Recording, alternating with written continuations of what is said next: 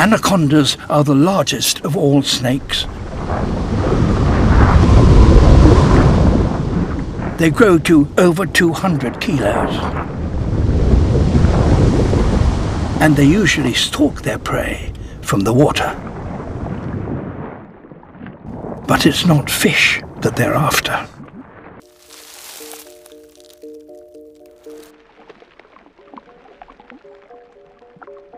If the monkeys stray too close to the water, they will be in danger.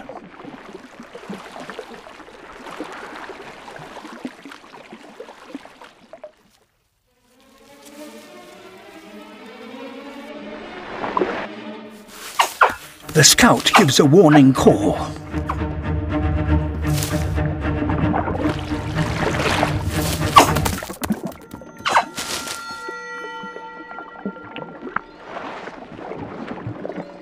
That might have to be the end of the monkey's meal for today.